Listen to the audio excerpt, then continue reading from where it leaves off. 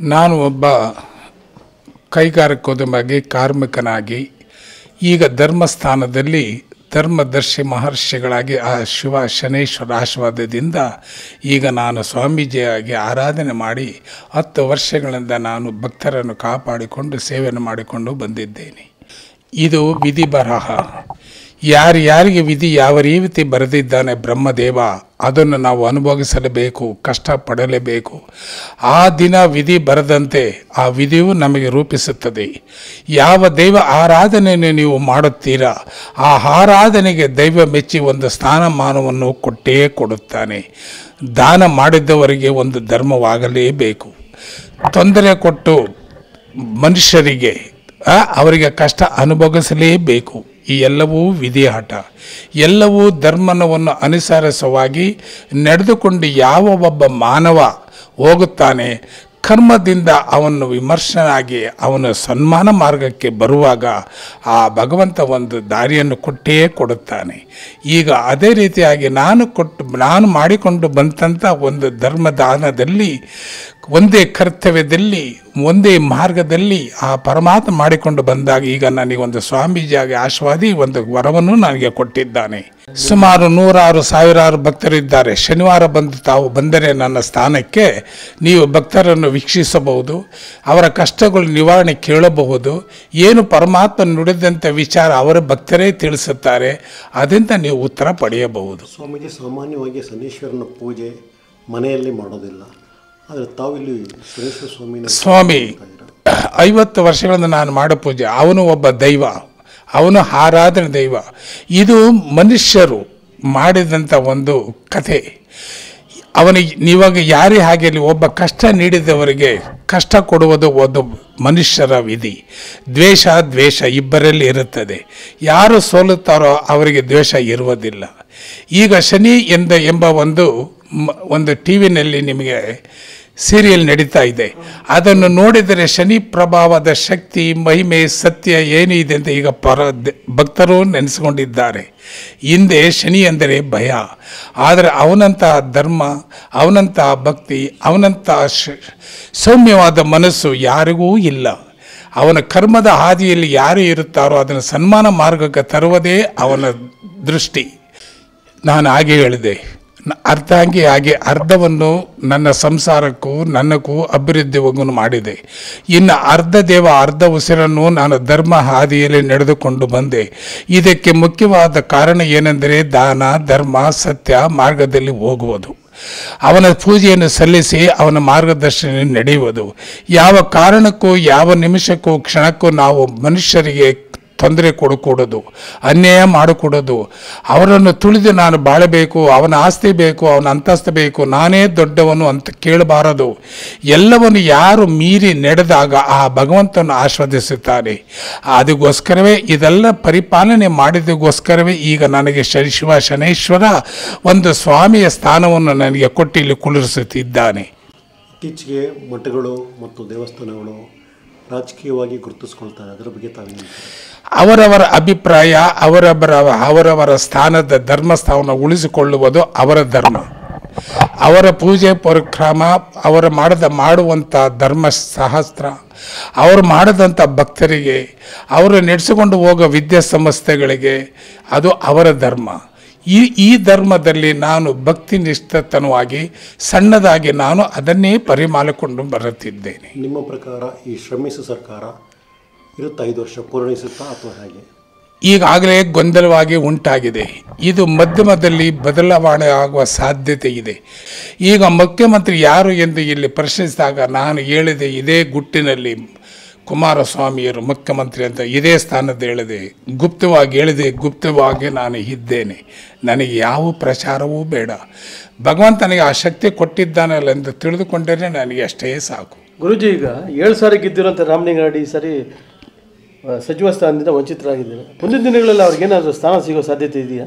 ಎಲ್ಲವೋ ಎಲ್ಲವೋ ಅನುಭವಿಸಿದಂಥ ವ್ಯಕ್ತಿ ಅವರು, ಎಲ್ಲವನ್ನೂ ರಾಜಕಾರಣದಲ್ಲಿ ಪಡೆದಂಥವರು, ನಿಷ್ಠಾವಂತರು, ಎಲ್ಲವುದಕ್ಕೂ ಅವರ ಯಾವಲ್ಲಿಯೂ ಒಂದು ಕಪ್ಪು ಚಿಕ್ಕಿ ಅವರಲ್ಲಿ ಇಲ್ಲ. ಆದರೆ ಸಮಯ ಸಂದರ್ಭದಲ್ಲಿ ಬದಲಾವಣೆ ಸಾಧ್ಯತೆ. ಆದರೂ ಈಗ ಅವರ ಪುತ್ರಿಯನ್ನು ನಿಲ್ಲಿಸಿ ಅವರನ್ನು ಜಯಗಳಿಸಿದ್ದಾರೆ. ಇಲ್ಲವಾ? ಅದಕ್ಕೋಸ್ಕರ ಇನ್ನೊಂದು ಮತ್ತೊಂದು ಬಾರಿ ಕಡೆಯ ಅವಕಾಶ ಅವರಿಗೆ ಇದ್ದೇ ಇದೆ. ಮುಂದಿನ ವರ್ಷ ಲೋಕಸಭೆ ಚುನಾವಣೆ ಬರ್ತಾ ಇದೆ. ನಮ್ಮ ಭಾರತದ ಭವಿಷ್ಯ ಹೇಗಿರುತ್ತೆ? ಮುಂದಿನ ಭವಿಷ್ಯದಲ್ಲಿ ಮೋದಿಯವರ ಸರ್ಕಾರ ಮುಂದಿನ ಭವಿಷ್ಯದಲ್ಲಿ ನೀವು ಕೇಳುತ್ತಿದ್ದರೆ ಕೇಂದ್ರ ಸರ್ಕಾರ ಯಾವ ರೀತಿ ರಚಿಸಬಹುದು ಯಾವ ರೀತಿ ಆಗಬಹುದು ಎಂದು ಎಲೆಕ್ಷನ್ ಆದ ನಂತರ ಒಂದು ದಿವಸ ಮುಂಚಿತವಾಗಿ ಬನ್ನಿ. ಯಾರು ಮುಂದಿನ ಪ್ರಧಾನಮಂತ್ರಿ ಯಾವ ರೀತಿ, ಯಾವ ಈ ನೀವು ಕ್ಷೇತ್ರದಲ್ಲಿ ಯಾರ್ಯಾರು ಸೋಲಿಗೆ ಎನ್ನುವ ಲೆಕ್ಕಾಚಾರ ನಾನು ತಿಳಿಸ್ತೇನೆ. ನಮ್ಮ ಭಕ್ತ ಸಂದೇಶ ಒಂದೇ. ಅವರ ಕಷ್ಟ ನಿವಾರಣೆ ಮಾಡುವುದು. ಅವರಲ್ಲಿ ಯಾವುದೇ ಆಕ್ಷೇಪಣೆ ನಾವು ಪಡೆಯುವುದಿಲ್ಲ. ಭಕ್ತಿಯಿಂದ ಬರಬೇಕು, ಭಕ್ತಿಯಿಂದ ಅವರ ಆಶೀರ್ವದಿಸಿ ಅವರ ಕಷ್ಟ ನಿವಾರಣೆ ಬೇಕು ಅಷ್ಟೇ ನನ್ನ ನನ್ನ ಒಂದು ದೈವದ ಆಚರಣೆ. ನಮ್ಮ ಯೋಜನೆ ಒಂದೇ. ಆ ಪರಮಾತ್ಮನ ಐವತ್ತು ವರ್ಷ ಪೂಜಿಸುತ್ತಿದ್ದೇನೆ. ಸರ್ವಸ್ವ ನನಗೆ ಕೊಟ್ಟ. ಕೊನೆಯದಲ್ಲಿ ನನಗೆ ಒಂದು ಸ್ವಾಮೀಜಿ ಆಗ ಆಶೀರ್ವಾದವೂ ಮಾಡಿದ. ಆದರೆ ನಾನು ಶಿವ, ಶನೇಶ್ವರ ಕೊಟ್ಟಂಥ ಫಲವನ್ನು ನಾನು ಈ ಪ್ರಪಂಚದಲ್ಲಿ, ಭೂಲೋಕದಲ್ಲಿ, ಮನುಷ್ಯ ಲೋಕದಲ್ಲಿ ಇಟ್ಟು ಹೋಗಬೇಕು ಅಂತ ನಿರ್ಧಾರ ಮಾಡಿ ನನ್ನ, ಅವನು ಕೊಟ್ಟಂಥ ವರದಾನ ನಾನು ಮತ್ತೆ ಅವನಿಗೆ ವಾಪಸ್ ಕೊಟ್ಟು ಅವನ ಸನ್ನಿಧಾನದಲ್ಲಿ ಶಾಶ್ವತವಾಗಿರಲಿ ಭೂಮಿಯಲ್ಲಿ ಅಂತ ಹೇಳಿ ನಾನೀಗ ಒಂದು ಸನ್ನಿಧಾನವನ್ನು ಪುಣ್ಯ ಬಂಗಾರಪೇಟೆ ಪುಣ್ಯಕ್ಷೇತ್ರವನ್ನು ಪ್ರಾರಂಭಿಸುತ್ತಿದ್ದೇನೆ.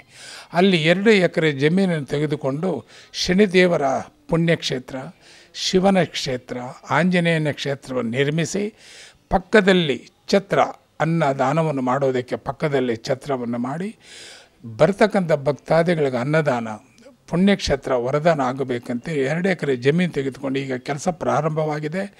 ಇದು ಪರಮಾತ್ಮನ ಕೊಟ್ಟಂಥ ನನಗೆ ವರದಾನಕ್ಕೆ ಮತ್ತೆ ನಾನು ಇಟ್ಟು ಹೋಗೋದು ವರದಾನ ಇದೆ. ಕೊಟ್ಟಂಥದ್ದು ಮತ್ತೆ ನಾನು ವಾಪಸ್ಸು ಕೊಟ್ಟು ನಿಮ್ಮ ಲೋಕಕ್ಕೆ ಬರಬೇಕೇ ಹೊರತು ಬೇರೆಯವ್ರಿಗೆ ಇಟ್ಟು ಹೋಗೋದಲ್ಲಿ ಸಂಸ್ಕೃತಿ ಅಲ್ಲ ಕೊಟ್ಟದ್ದು ದಾನ ಅವನಿಗೆ ವಾಪಸ್ ಕೊಡಬೇಕು. ಏನು ಹೇಳಿ? ಅವನು ಕೊಟ್ಟಂತ ಅವನಿಗೆ ಸಂತೋಷವಾಗಬೇಕು ಪರಮಾತ್ಮನಿಗೆ. ನಾನು ಕೊಟ್ಟೆ ವರ ಮತ್ತೆ ನನಗೆ ನೀಡಿದ್ದೇನಲ್ಲ ಇವನು. ಅನ್ನುವುದು ಅವನ ಆತ್ಮಕ್ಕೆ ಸೇರಬೇಕು, ಅವನಿಗೆ ಶಾಂತಿ ಆಗಬೇಕು. ಲಕ್ಷಾಂತರ ಜನರು ಆಕಾಶ ಭೂಮಿ ಇರೋವರೆಗೂ ಆ ಸ್ಥಾನ ಇರುತ್ತೆ. ನಾನು ಇರೋದಿಲ್ಲ ನೀವುಗಳು ಉಳಿದೋಗುತ್ತೆ ಅದಕ್ಕೋಸ್ಕರ ಅದನ್ನು ನೆನೆದು ನಾನು ಈ ಒಂದು ಪುಣ್ಯಕ್ಷೇತ್ರ ನಿರ್ಮಿಸುತ್ತಾ ಇದ್ದೀನಿ. ಅದರಲ್ಲೂ ಜನರ ಸಮ್ಮುಖದಲ್ಲಿ ಭಕ್ತರ ಸಮ್ಮುಖದಲ್ಲಿ ಅವರ ಆಶ್ರಯದೊಂದು ಇವತ್ತು ಬಂಗಾರಪೇಟೆ ಎರಡು ಎಕರೆ ಜಮೀನು ತಂದು ನಾನು ಅಲ್ಲಿ ಪುಣ್ಯಕ್ಷೇತ್ರ ನಿರ್ಮಿಸಬೇಕು. ಆ ಪರಮಾತ್ಮನ ಆಶ್ರಯ ಬೇಕು ಭಕ್ತರ ಆಶ್ರಯ ಬೇಕು. ಅದೇ ನನ್ನ ಕೊನೆಯ ಒಂದು ಆಸೆ. ಮತ್ತೆ ಅಲ್ಲಿ ಏನಾದರೂ ನಿರ್ಮಾಣ ಮಾಡೋ ಅಲ್ಲಿ ಅದಾದ ಅದನ್ನಾದ ನಂತರ ತಂದೆ ತಾಯಿ ಸಾಕುವಾಗ ಮಕ್ಕಳು ಮಕ್ಕಳು ದೊಡ್ಡವರಾದ ಮೇಲೆ ಏನು ಹೇಳಿ ಅವ್ರನ್ನ ಸಾಕುವುದಕ್ಕೆ ನಿರ್ಲಕ್ಷ್ಯ ಮಾಡುತ್ತಾರೆ. ಅಂಥವರಿಗೆ ನಾನು ವರದಾನವನ್ನು ಕೊಟ್ಟು ಅಲ್ಲಿ ಒಂದು ಆಶ್ರಮ ಕಟ್ಟಬೇಕು. ಅವರ ಸುಖ ಸಂತೋಷಗಳು ನಾನು ನೋಡಬೇಕು ಎನ್ನುವುದೊಂದು ಆಸೆ. ಅಲ್ಲಿ ಒಂದು ರುದ್ರಾಶ್ರಮವೂ ಬರುವುದು? ಈಗ ನನಗೆ ಅದು ಸಮ್ಮುಖದಲ್ಲಿ ಕೆಲಸ ಕಾರ್ಯ ನಡೀತಾ ಇದೆ. ಆದಷ್ಟು ಬೇಗ ತಮ್ಮನ್ನು ಆಶ್ ನೀವು ಆಹ್ವಾನಿಸಿ ನಿಮ್ಮ ಮೂಲಕ ಅಲ್ಲಿ ನಾನು ಅದನ್ನು ಪ್ರಚಾರೋಸ್ತನಾಗ್ತೇನೆ ಅಲ್ಲಿ ಯಾರೇ ಇರಲಿ ಯಾವ ಪಕ್ಷದ ಮುಖ್ಯಸ್ಥರಿರಲಿ ಎಲ್ಲರನ್ನೂ ಆಹ್ವಾನಿಸುತ್ತೇನೆ. ಇದು ಪುಣ್ಯಕ್ಷೇತ್ರ. ಎಲ್ಲ ಪುಣ್ಯಕ್ಷೇತ್ರಕ್ಕೂ ಎಲ್ಲ ಅಧಿಕಾರಿಗಳು ಎಲ್ಲ ಜನಾಂಗದವರು ಎಲ್ಲ ರಾಜಕೀಯದವರು ಪಕ್ಷದವರು ವಿರೋಧ ಎಲ್ಲರೂ ಆ ಸ್ಥಾನಕ್ಕೆ ಬಂದು ಕೈ ಮುಗಿತಾರೆ ಹೊರತು ಅಲ್ಲಿ ಯಾವ ಭೇದ ಭಾವ ಪಕ್ಷಾಂತರ ಬರುವುದಿಲ್ಲ. ನಿಮ್ಮ ಆಹ್ವಾನ ಮನ್ನಿಸಿ ಯಾರು ಬರ್ತಾರೋ ಅವ್ರಿಗೆ ಸ್ವಾಗತ ಸ್ವಾಗತ ಅಲ್ಲಿ. ಅದು ಸ್ಥಳೀಯರಿಗೆ ಅಲ್ಲಿರ್ತಕ್ಕಂಥ ವಾಸವಾಗಿರ್ತಕ್ಕಂಥ ವಾಸ್ತು ಪ್ರಕಾರವಾಗಿ ಅವ್ರನ್ನ ಕರಿತೇವೆ. ಪ್ರತಿಷ್ಠಾಪನೆಗೆ ಆ ಪರಮಾತ್ಮ ಯಾರಿಗೆ ದಾರಿಯಾರು ಕೊಡ್ತಾನೋ ಅವ್ರನ್ನೆಲ್ಲೂ ನಾವು ಅಮರಣ ಕೊಟ್ಟು ಆಹ್ವಾನಿಸುತ್ತೇವೆ. ನಮಸ್ಕಾರ. ನನ್ನ ಹೆಸರು ಹೇಮಾವತಿ ರಾಮಕೃಷ್ಣಪ್ಪ ಅಂತ. ನಾವಿಲ್ಲೇ ಫಿಫ್ತ್ ಮೇನ್ ರೋಡಲ್ಲಿರೋದು ನಾನಿಲ್ಲಿ ಸುಮಾರು ಒಂದು ವರ್ಷದಿಂದ ಬರ್ತಾ ಆ, ಇಲ್ಲಿ ಸ್ವಾಮೀಜಿಯವರು ಶನಿದೇವರ ಪೂಜೆ ಮಾಡ್ತಾರೆ. ಇದು ಶ್ರೀ ಶ್ರೀ ಶ್ರೀ ಶನಿ ಶಿವ- ಶಿವ ಶನೇಶ್ವರ ಸ್ವಾಮಿ ದೇವಸ್ಥಾನ. ಇಲ್ಲಿ ಶ್ರೀ ಮುನೇಶ್ವರ ಸ್ವಾಮೀಜಿಯವರ ಕೃಪೆಯಿಂದ ಇಲ್ಲಿ ಬರೋ ಭಕ್ತಾದಿಗಳಿಗೆ ತುಂಬ ಒಳ್ಳೆಯದಾಗ್ತಾ ಇದೆ. ಸ್ವಾಮೀಜಿಯವರು ದಿನ ಬೆಳಗ್ಗೆ ಐದು ಗಂಟೆಗೆ ಎದ್ದು ಅವರು ಜಪ, ತಪಸ್ಸು ಎಲ್ಲ ಮಾಡಿ ಅವರು ಸತತವಾಗಿ ಇಪ್ಪತ್ತೊಂದು ದಿನ ನಿ, ಊಟ, ನಿದ್ದೆ ಏನೂ ಇಲ್ಲದೆ ತಪಸ್ಸು ಮಾಡಿ ವರ ಪಡೆದಿದ್ದಾರೆ. ಹಾಗಾಗಿ ಅವರಿಗೆ ಶಕ್ತಿ ಇದೆ. ನನಗೆ ತುಂಬ ಒಳ್ಳೆಯದಾಗಿದೆ ನನಗೆ ಮನಸ್ಸಿಗೆ ಶಾಂತಿ, ಸಮಾಧಾನ, ನೆಮ್ಮದಿ ಇದೆ. ನಮಗೆ ಬಾಡಿಗೆಗೆ ಬಂದಿರಲಿಲ್ಲ ಸುಮಾರು ದಿನದಿಂದ. ಹಾಗಾಗಿ ಬಾಡಿಗೆಗೆ ಬಂದಿದ್ದಾರೆ. ಎಲ್ಲರಿಗೂ ಸಮಸ್ಯೆಗೆ ಪರಿಹಾರ ಸಿಕ್ಕಿದೆ. ಆದರೆ ಅವ್ರು ಹೇಳಿದ ರೀತಿ ನಡ್ಕೋಬೇಕು ಬಂದರೆ. ಎಷ್ಟು ಜನ ಭಕ್ತಾದಿಗಳು ಬರ್ತಾರೆ ಸ್ವಾಮೀಜಿ ಹತ್ರ? ಸುಮಾರು ಜನ ಬರ್ತಾರೆ ಇಷ್ಟೇ ಜನ ಅಂತ ಹೇಳೋಕ್ಕಾಗಲ್ಲ. ಇಲ್ಲಿ ಬೆಳಗ್ಗೆ ಹತ್ತುವರೆಗೆ ವಾಗ್ದಾನ ಶುರು ಆದರೆ ಸಾಯಂ ಮಧ್ಯಾಹ್ನ ಮೂರು ಗಂಟೆ ನಾಲ್ಕು ಗಂಟೆ ತನಕ ಇರುತ್ತೆ. ತಿರ್ಗಾ ಸಂಜೆ ಆರು ಗಂಟೆಗೆ ಶುರು ಆದರೆ ರಾತ್ರಿ ಹತ್ತು ಗಂಟೆ ತನಕ ಇರುತ್ತೆ. ಶನಿವಾರ ವಿಶೇಷವಾದ ಪೂಜೆ ಇರುತ್ತೆ. ಸ್ವಾಮೀಜಿಯವರು ಒಂದು ರೂಪಾಯಿ ಹಣ ಕಾಸು ಏನೂ ತಗೊಳ್ಳಲ್ಲ ಇಲ್ಲಿ ಬಂದರೆ ಅವರು ನಮ್ಮ ಭಕ್ತಿ ಅನುಸಾರ ನೀವೊಂದು ಹೂವು ತೊಗೊಬಂದು ಒಂದು ತುಳಸಿ ತಂದರೂ ದೇವರು ವರ ಕೊಡ್ತಾನೆ ಅಂತ ಹೇಳ್ತಾರೆ. ಸೊ ಇಲ್ಲಿ ದುಡ್ಡು ಕಾಸು ಏನು ತಗೊಳ್ಳೋದಿಲ್ಲ ಇಲ್ಲಿ? ಸಂಸ್ಥೆ ಭಕ್ತರು ಅವರಾಗ ಅವರೇ ಅವರಿಚ್ಛೆಯಿಂದ ಸ್ವಇಚ್ಛೆಯಿಂದ ಕೊಟ್ಟರೆ ಮಾಡಿದ್ರೆ ಮಾತ್ರ ನೆ- ಇದು ಅವ- ಇಲ್ಲಾಂದರೆ ಸ್ವಾಮೀಜಿಯವರು ಅವ್ರ ಕೈಯಿಂದ ದುಡ್ಡು ಹಾಕಿ ನಡೆಸ್ತಾ ಇದ್ದಾರೆ ಆಮೇಲೆ ಇಲ್ಲಿ ವಿಶೇಷ ಏನಂದರೆ ಹೋಮ ಎಲ್ಲ ಹೆಂಗಸರೇ ಮಾಡ್ತಾರೆ ಮಂತ್ರ ಜಪ ಎಲ್ಲ. ಆಮೇಲೆ ಇಲ್ಲಿ ಬರೋರಿಗೆ ತುಂಬ ಒಳ್ಳೆಯದಾಗುತ್ತೆ ಸ್ವಾಮೀಜಿ ಅವ್ರ ಮನಸ್ಸಲ್ಲಿ ಏನು ಅಂದ್ಕೊ ಕೂರ್ತ್ಕೊಂಬಂದಿರ್ತಾರೋ ಅದನ್ನು ಕರೆಕ್ಟಾಗಿ ಇಲ್ಲಿ ಹೇಳ್ತಾರೆ. ಅದು ಎಕ್ಸ್ಪೀರಿಯನ್ಸ್ ಆಗುತ್ತೆ ಬಂದು. ಥ್ಯಾಂಕ್ ಯು ನನ್ನ ಹೆಸರು ಮುನಿಯಮ್ಮ ಅಂತ. ಮುನಿಯಮ್ಮ ಅಂತ ಯಜಮಾನ ಸುಮ್ಮನೆ ಅಂತ. ನಾವು ನಲ್ವತ್ತು ವರ್ಷ ಆಯ್ತು ಮದುವೆಗೆ. ನಲ್ವತ್ತು ವರ್ಷನಿಗೆ ನಾವು ಬೇಗ ಜನ ಯಜಮಾನರು ಎಲ್ಲ ಕಡೆ ಮಾಡಿದ್ದಾರೆ. ಬೇಕಾದಷ್ಟು ಮಾಡಿದ್ದಾರೆ. ಎಲೆಕ್ಷನ್ ಮಾಡಿದ್ದಾರೆ, ರಾಜಕೀಯ ಮಾಡಿದ್ದಾರೆ. ಆಮೇಲೆ ಇದು ನಮ್ಮದು ಓನ್ ಫ್ಯಾಕ್ಟ್ರಿ ಎಲ್ಲ ಮಾಡಿದ್ದಾರೆ. ಇವಾಗ ಒಂದು ಇಪ್ಪತ್ತು ವರ್ಷನಿಕ ನಮ್ಗೆ ಅಪ್ಪನ ಮನೆಗೆ ಬಂದಿತ್ತು. ನಾವು ಬೇಡ ಇವಾಗ ಸಂಸಾರ ಮನೆ ಅಂತ ಬೇಡ ಅಂದ್ಬಿಟ್ಟು ನಾವು ಅಲ್ಲಿ ನಿಲ್ಲಿಸ್ಬಿಟ್ರಿ ದಾಸರಳ್ಳಿ ಮನೆಯಲ್ಲಿ. ಇವಾಗ ಇಲ್ಲಿ ಬಂದು ಐದು ವರ್ಷನಿಕ ಅಪ್ಪನ ಸೇವೆ ಮಾಡೋಕ್ಕೆ ನಮ್ಗೆ ಆಶೀರ್ವಾದ ಕೊಟ್ಟಿದ್ದಾನೆ. ನಾವು ಅಂದ್ರೆ ಇವಾಗ ಅವ್ರು ಸಪ್ರೇಟಾಗಿ ಎರಡು ವರ್ಷನಿಗೆ ಅಮ್ಮ ಸಪ್ರೇಟ್ ಈಗ ಸಂಸಾರಿಯಾಗಿ ಅವರು ಗುರುಸ್ಥಾನದಲ್ಲಿದ್ದಾರೆ. ಹೌದು ಹೌದು. ನಿಮ್ಮ ಸಹಕಾರ ಯಾವ ರೀತಿ ಇದೆ? ನಮ್ಮ ಸಾವುಕಾರ ಅವ್ರು ಏನು ಹೇಳ್ತಾರೆ ಆ ಥರ ನಾವು ಸಾವುಕಾರನ ಮಾಡ್ಕೊಂಡು ಹತ್ತು ಜನಕ್ಕೆ ಒಳ್ಳೇದಾಗಲಿ ಹತ್ತು ಜನಕ್ಕೆ ಹೆಲ್ಪ್ ಆಗಲಿ. ಗುರುಸ್ಥಾನ ತಗೊಂಡ್ರೆ ನಿಮ್ಗೆ ತೃಪ್ತಿ ಸಿಕ್ಕಿದೆಯಾ? ಸಿಕ್ಕಿದೆ ಸ್ವಾಮಿ ಯಾಕಂದ್ರೆ ಸಂಸಾರದಿಂದ ದೂರ ಇರ್ತಾರೆ ಸದಾ.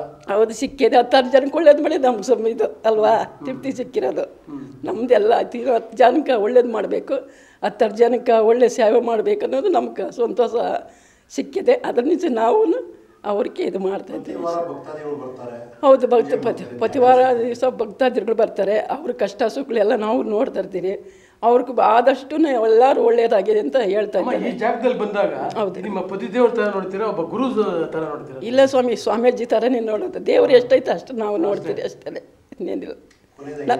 ಆಮೇಲೆ ನಮಗೆ ಸ್ವಲ್ಪ ನೋವಿತ್ತು ಕತ್ತತ್ರ. ನಾನು ಒಂದು ಒಂಬತ್ತು ವಾರ ತಗೊಂಡೆ. ಅಪ್ಪನ ಮೇಲೆ ಇದು ಮಾಡಿ.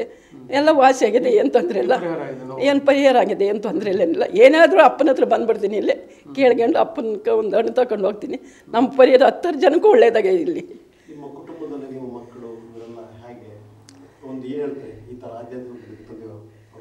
ಅವ್ರಿಗೆ ಆ ತಂದೆ ಹೆಂಗೆ ಹೇಳ್ತಾರೆ ಹಂಗೆ ಮಕ್ಕಳಲ್ಲೂ ಅಷ್ಟೇ ಸ್ವಾಮಿ.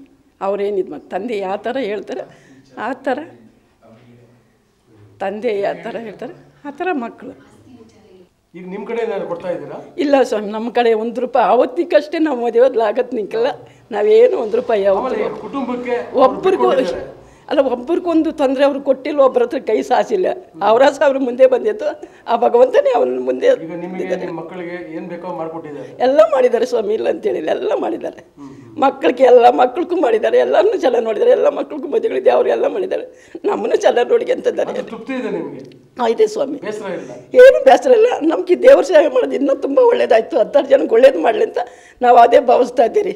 ಅಮ್ಮ ಇದೇ ಸಂದರ್ಭದಲ್ಲಿ ಅವರ ಧರ್ಮಪತ್ನಿಯಾಗಿ ಮತ್ತೆ ಇಲ್ಲಿ ನಾವು ಡಿಓಟಿ ಆಗಿ ಭಕ್ತಾದಿಯಾಗಿ ಬರುವಂತ ಭಕ್ತರಿಗೆ ಏನು ಹೇಳಕ್ ಇಷ್ಟಪಡ್ತೀನಿ ನೀವು?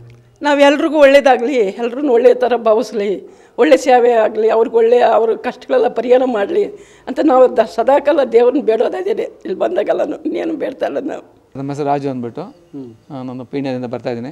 ನಂಗೆ ಸ್ವಾಮೀಜಿ ಎಂಬತ್ನಾಲ್ಕರಿಂದ ಅಂದರೆ ಅದು ಮೊದಲಿಂದ ಗೊತ್ತು. ಯಾಕಂದ್ರೆ ನಾವು ಅವ್ರ ಜೊತೆ ಸೇರಿ ನಾನು ಎಂಬತ್ನಾಲ್ಕರಿಂದ ಅವ್ರ ಜೊತೆಲಿ ಇದ್ದೀನಿ. ಅವ್ರ ಜೊತೆ ನಾನು ಅವ್ರಿಗೆ ಹೇಳಿದ ಕೆಲಸ ಮಾಡ್ಕೊಂಡು ಅವ್ರ ಜೊತೆಯಲ್ಲಿ ಅವ್ರ ಸೇವೆ ಮಾಡ್ತಾ ಇದ್ದೀನಿ. ಆಮೇಲೆ ಇಷ್ಟು ವರ್ಷಗಳ ಕಾಲ ಸ್ವಾಮೀಜಿ ಅವರ ಸಂಪರ್ಕ ಸಂಬಂಧದಲ್ಲಿ ಇದ್ದೀರಲ್ಲ? ಹೌದು ಸರ್ ಇದೆ ಏನು ವಿಶೇಷವಾದ ಅನುಭವ ಏನಾಗಿದೆ ನಿಮ್ಗೆ ಇಲ್ಲಿ? ಸರ್ ವಿಶೇಷ ಅನುಭವ ಅಲ್ಲ ನಾನು ಎಲ್ಲದಲ್ಲೂ ಅವ್ರ ಜೊತೆಲಿ ಇ- ಇರೋದ್ರಿಂದ ನನಗೆಲ್ಲ ಏನು ತೊಂದರೆಗಳಿಲ್ದಂಗೆ ನಾನು ನಡ್ಕೊಂಡು ಹೋಗ್ತಾ ಇದ್ದೀನಿ ಸರ್. ಎಲ್ಲ ಅನುಕೂಲ ಇದ್ದಾವೆ ಏನು ತೊಂದರೆ ಇಲ್ಲ. ಸ್ವಾಮೀಜಿ ನನ್ನ ಚೆನ್ನಾಗಿ ನೋಡ್ಕೊತಾ ಇದ್ದಾರೆ ಹಂಗಾಗಿ ಇದ್ದೀನಿ ಸರ್ ನಾನು. ಆಮೇಲೆ ನಿಮ್ಮ ಕುಟುಂಬಕ್ಕೆ ಈಗ ಅಟ್ಲೀಸ್ಟ್ ನಿಮ್ಮ ಏನೋ ಸಂಕಷ್ಟ ಅದು ಇದು ಬಂದಾಗ ಎಲ್ಲ ಹೆಲ್ಪಿಂಗ್ ಇದೆ ಸರ್. ಎಲ್ಲ ಹೆಲ್ಪ್ ಮಾಡ್ತಾರೆ ಅದೇನು ತೊಂದರೆ ಸರ್ ತಾನು ತಾ- ತಾಯಿ ಸತ್ರು ಅವಾಗೂ ನನಗೆ ಹೆಲ್ಪ್ ಮಾಡಿದ್ರು ತಂದೆ ಸತ್ರು ಅವಾಗ ಹೆಲ್ಪ್ ಮಾಡಿದ್ರು. ಒಟ್ಟು ನನ್ನ ಕಷ್ಟ ಸುಖದಲ್ಲಿ ಹೆಲ್ಪ್ ಆಗ್ತದೆ ಸರ್ ಭಾಗಿ ಆ ಥರ. ಅಂತೂ ಇಷ್ಟು ವರ್ಷಗಳ ಕಾಲ ಜೊತೆಲಿದ್ರೆ ಮುಂದೇನೂ ಇಲ್ಲೇ ಇರ್ತೀರ ಇರ್ತೀನಿ ಸರ್. ಅವ್ರು ಇರೋಕ್ಕೂ ನಾನು ಇಲ್ಲ ನಾನೇ ಮುಂದೆ ಹೋಗ್ಬೋದು ಇಲ್ಲ ಅವರೇ ಮುಂದೆ ಹೋಗ್ಬೋದು. ಅದಕ್ಕೆ ಒಟ್ಟಾಗಿ ಇರ್ತೀನಿ ಸರ್.